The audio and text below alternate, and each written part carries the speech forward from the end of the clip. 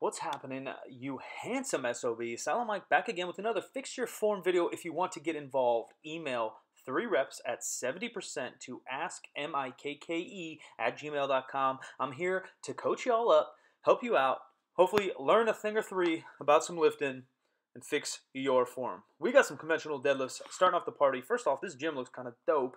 Uh, don't know where you are, but all Eleiko stuff, bunch of racks. Overall, my man, form is looking A1 if I do say so myself. Um, back looks really flat. Hips are in a pretty dang good position. Uh, I think we're going slow-mo here, so extra, extra, extra slow-mo. Uh, looks like you get good tension in your hamstrings, pull the slack out of the bar, and it looks like you keep it really close. Um, a front angle may help. I don't know if we're going to get one, but uh, just focus on flexing your lats and stomach as hard as you can and making sure that bar is in contact with you the entire time. Um, otherwise, I really don't got much of a fix. You can try if you want to experiment with a slightly higher chin and eye position. It may feel a little bit better. Um, but overall, to be honest, not a whole lot to fix. It looks really, really, really good. Moving on to the next one. What do we got? More conventional deadlifts. Everybody's trying to build that booty. Hashtag Peach King. Hashtag Peach Gang. You guys know what it is. So, another actually pretty cool looking gym. Uh, looks like we got some conventional deadlifts, as I previously mentioned. Let's see what we got. Overall, really, really solid, man. Uh, I say you rush in that second rep uh, just a little bit. Make sure that you're really breathing, breathing and bracing in that back, and almost trying to think about falling backwards a little bit. So once you get that midline uh, with your lats and your stomach real rigid from your hip to your chin, oh, hip to your shoulder. What am I talking about? From your hip to your shoulder, really, really rigid. Let's almost get you a little bit of a teeter-totter effect. I did this in a previous video if you guys want to check back about a week ago. About a week ago, week ago that you want to get that as rigid as you can. Get your momentum falling backwards just a little bit. You want to push into your hips. That means not hips downwards, but hips backwards, almost to that wall behind you. Falling back just slightly will get a little bit more tension in those hamstrings. Get your body weight behind the barbell just a little bit more. Uh, and that not only will protect your back a hair, uh, but it also allow for proper bar path uh, and also tension not only through the bar but in the proper muscles. We want to keep tension in our hamstrings low back, glutes through the entire repetition from start to finish. Um, right now, overall, pretty dang solid. Uh, I wouldn't worry too much. I'm not a huge fan of facing into the mirror. Uh, if you want to face away just to get more body awareness, uh, and then also maybe chin down just a hair, my friend. It's a conventional pull and party, guys. Let's see what we got here. Shoes off in the in the commercial gym. I like it. Nice and gross. Hopefully, you don't get staph infection. Uh, staph infection. Uh, normal gyms are absolutely disgusting. All right, not too bad. So what I think we can do here uh, is one, get your chin up, eyes up just a hair. Another thing is as you're uh, lined up on the bar, I want you to take maybe half an inch step backwards away from the bar. And that's going to allow you to bend your knees just a little bit more and get those hips down a hair. Now, I know I talk a lot about people's hips being too low and squatting the weight up, but in your case, your hips are a little too high in my opinion. Now, generally speaking, we want to get our hips just below our shoulders. And in this case, you're putting a lot of that load in your low back uh, and, and hinging off your low back. If you bend your knees just a hair, hips down just a hair, remember to flex your middle, breathe into your stomach, sides, and low back, as well as flexing your lats, pulling that bar into you, and then allowing your knees just to travel forward a little bit more uh, will allow those hips lower and to hinge on your hips rather than your low back, my friend. It really is a conventional pull and party. Uh, this gentleman does a really good job of it. You can see him kind of push into the hamstrings on that first rep. Knees are forward just a hair, getting the quads off the ground, and then finishing the rep. Now, some people's hips will be higher and look higher than others, but that's mostly based on uh, thigh length, femur length, and then the length of their torso. Um, will be uh, pretty much make up your mind for you where you're going to pull. Uh, the only other thing is that I've talked about in a couple videos is I'm not a huge fan of touch and go deadlifts uh, for majority of people. Um, one, I think you're going to lose a lot of the tension and the work in the bottom half because even if you're trying to be careful, the weights are going to bounce and you're going to uh, not have to control the weight on the first couple inches. Momentum obviously will do it, especially with a bumper plate or something like that.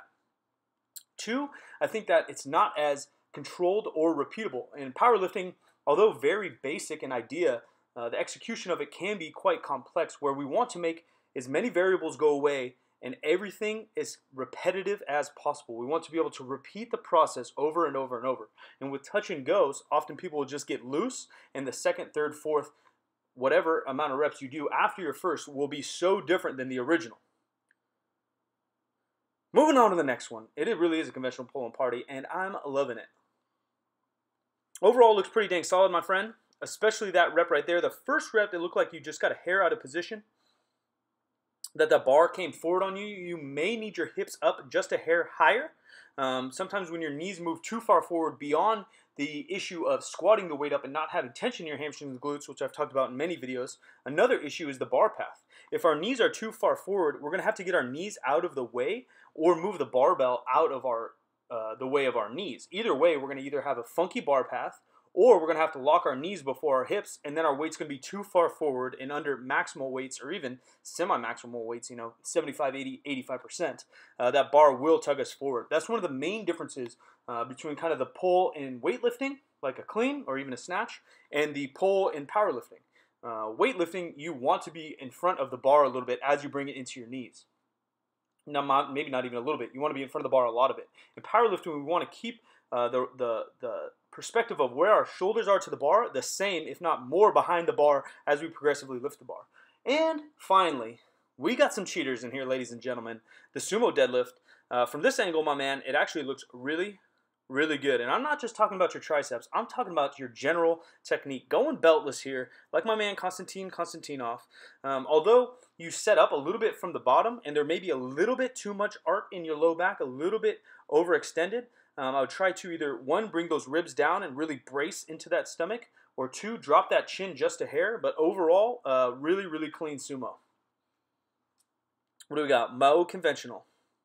So even right here is another uh, decent example. One, I think a flatter shoe will always uh, do you a little bit better. But two, you do have a little bit longer of a torso, although you are too far in front of the bar still. So I'd like to see those hips a hair higher, but even a, a bit further back. And that's why you're kind of getting the issue of a slight rounded lower back. Um, again, from your hips to your shoulder is a little bit longer than normal, which isn't that big of a deal. You're just going to have to adjust by hips a hair higher, which will allow you to flatten your back, and then get your body weight shifted backwards. Uh, falling back will allow you to get the tension in your hamstrings and glutes and still hinge off those hips. Um, you're probably a pretty dang decent squatter. Looks like you got some little femurs uh, from your knee to your hip. Looks quite short. And so you kind of need to take advantage of that by pushing those hips back, getting more body weight behind the bar. Overall, uh, again, it's really, really solid. When I'm critiquing you guys, you know, generally speaking, all of your guys' forms pretty dang good, you know, 80 to 90% there. Uh, it's just the last couple tweaks along with getting stronger.